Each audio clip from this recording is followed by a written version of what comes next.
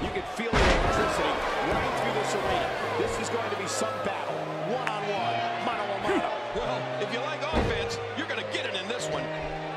Both these superstars are primed and ready to go. Regardless, a title is up for grabs, and time will tell which one of these competitors has the strength and